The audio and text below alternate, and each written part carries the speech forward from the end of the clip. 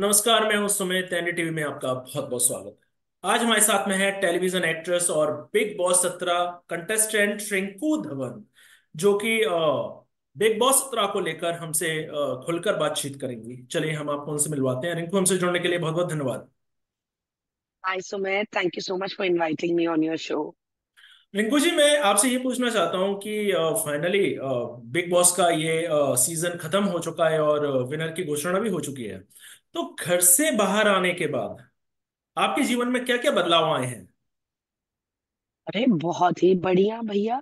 मतलब जैसे आप बोलो ten folds of acknowledgement ten folds of recognition ten folds मुझे लगता है मेरा सोशल मीडिया चला गया जो you know was not in a great way क्योंकि मैं बहुत ज़्यादा सोशल मीडिया पर्सन नहीं थी।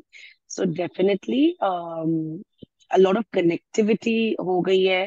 मीडिया के साथ कह लो बहुतों के साथ कह लो इन जनरल लोगों के साथ। इतना कि जैसे मैं इंडस्ट्री में तो ऑलमोस्ट छब्बीस साल से हूँ हम्म। तो मुझे लोग किरदार के नाम से जानते थे।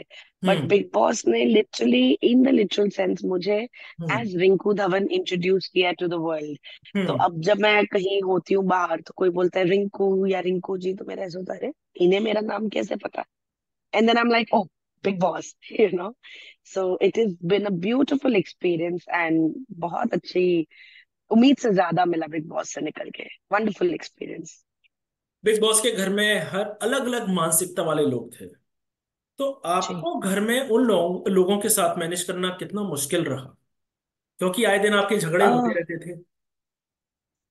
But I tell you what Sumit मुझसे कोई झगड़ता नहीं था। हम्म which is I don't know good thing bad thing bad thing for the show but a good thing I don't know what एक line of respect maintained थी and honestly speaking in that matter I did receive that respect on genuine terms from everybody hmm you know um, बाकी अ, हाँ अलग अलग मानसिकता के लोग थे उनके साथ डील करना बहुत बड़ा टास्क नहीं था बिकॉज़ आई थिंक मैं मेरी लाइफ की जर्नी में बहुत सेटल कूल और काम हो गई हूँ यू नो मेरी लाइफ की अप्स एंड डाउन्स है और हम अपनी ज़िंदगी में भी नॉर्मल लाइफ में भी बहुत ऐसे लोगों से मिलते हैं अच्छे लोगों से आड़े टेढ़े लोगों से अजीब एक्सपीरियंसेस या जो भी आप कह लो।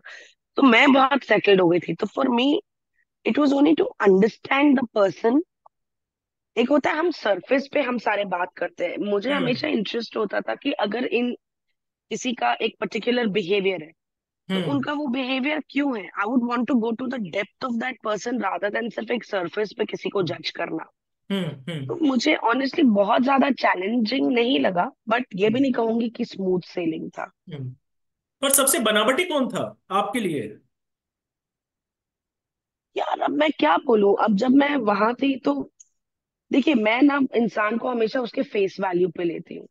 कि आप मुझसे अच्छे से बात करें तो मैं अच्छे से बात करूँ। आप नाराज़ है तो मैं भी नाराज़ हूँ जो भी मतलब you know it's a give and take of what we share but at the same time तो over the time and my exit and फिर जो एग्जिट के बाद मैंने कुछ चीज़ें ऑफ़ कोर्स मीडिया से ही सुनी। तो मुझे ऐसे लिटरली लगा दैट मनारा अब फेक बोलो या पर्सन ऑफ़ कन्वीनियंस बोलो।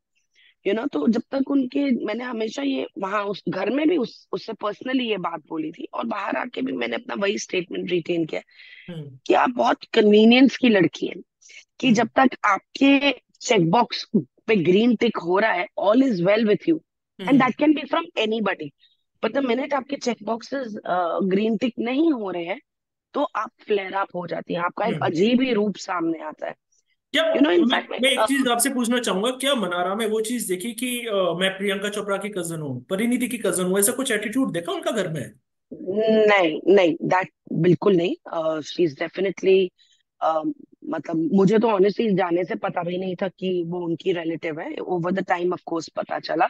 बट तो मैं क्यों बोलूँ झूठ कि हाँ यार उसने बड़ा ये फ्लेयर अप किया। जब मुझे पता ही नहीं चला और ओवर द टाइम पता चला विच मीन शी उसने कभी उस चीज़ का शो ऑफ़ किया ही नहीं ना हम्म। ही उस चीज़ को कभी अपनी तरफ़ से बाहर लाने दिया। अब किसी हम्म। और कंटेस्टेंट ने उस पर उंगली उठाई नोइंग द फैक्ट कि ये उनकी रिलेटिव है।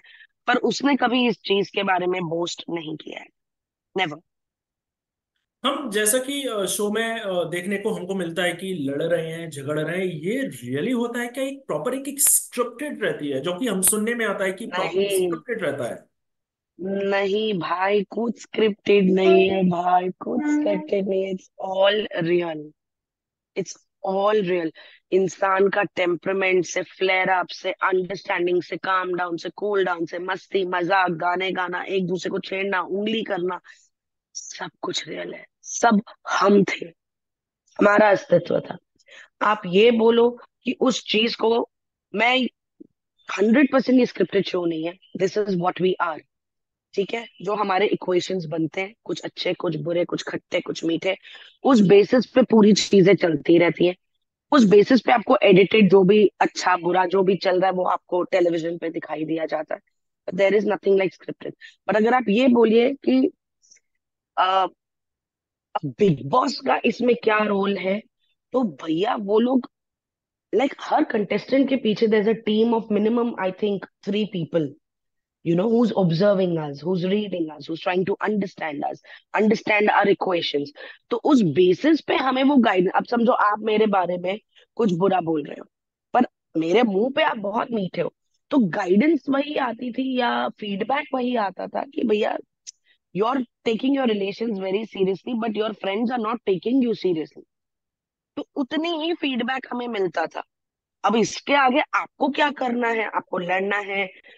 यू नो बैठ के वन ऑन वन बात करनी है डिस्कशन करनी है बात करनी बंद करनी है ये इंटायरली आपके ऊपर है। पर कोई स्क्रिप्टेड शो रिंकू जी काफ़ी हमें सोशल मीडिया पर ये खबर वायरल होती रहती है कि बिग बॉस का घर हॉन्टेड है। आप तो रह के आई हैं तो आपको कुछ ऐसा हॉन्टेड एक्सपीरियंस कुछ हुआ आपके साथ? नहीं और अगर होता तो मैं भाग जाती वहाँ से। मुझे ऐसा थैंकफुली मुझे ऐसा नहीं एक्सपीरियंस हुआ कुछ भी। बट अगर होता ना भैया मैं चली जाती मैं नहीं रह पाती वहाँ पर। मैं बहुत डरती हूँ इन चीज़ों से। मेरा आपसे एक आखिरी सवाल। अभी हाल ही बॉलीवुड एक्ट्रेस पूनम पांडे का निधन हुआ है। आपको ये हाँ। जी।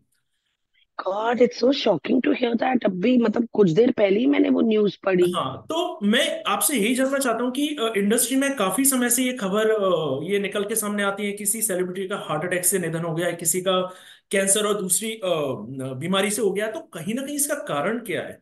कहीं इसका कारण एक हेल्थ इश्यूज़ तो नहीं नहीं है जो आप सर्जरी करा रहे हैं, या तो आप कुछ डुप्लीकेट सप्लीमेंट्स ले रहे हैं, इसका कारण क्या है? आपसे बेहतर कोई नहीं बता सकता।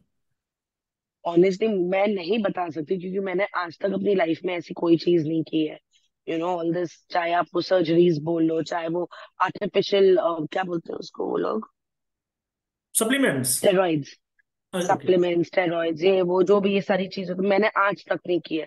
तो ना मुझे पता है कि इसको लेने से इसका इल इफ़ेक्ट क्या होता है। I don't know I have no clue but yeah I am sure कहीं ना कहीं हमारी लाइफस्टाइल बहुत जिम्मेदार रहती है। वो लाइफस्टाइल में आप ये जो चीज़ें हमने बात की वो हो जाए या एक बेसिक हमारा पैटर्न ऑफ़ लिविंग क्या है? Pattern of living is not whether I am going for a party और not that is not my pattern of living it is in general how I start my day जैसे हम कहते हैं ना why do millionaires become millionaires because they have a discipline in their life. So how well are we disciplined in our life is what our body takes over. तो बाकी इन सब चीज़ों के बारे में मुझे बिल्कुल नॉलेज नहीं है। रिंकू जी हमसे जुड़ने के लिए बहुत बहुत धन्यवाद। तमाम जानकारी के लिए बहुत बहुत धन्यवाद thank you thank you Sumit ji it was a pleasure ये थी हमारे साथ टेलीविज़न एक्ट्रेस और बिग बॉस सत्रह कंटेस्टेंट रिंकू धवन जिन्होंने हमसे बिग बॉस से जुड़ी काफ़ी बातों पर खुल के चर्चा की। आज के लिए बस इतना ही। नमस्कार।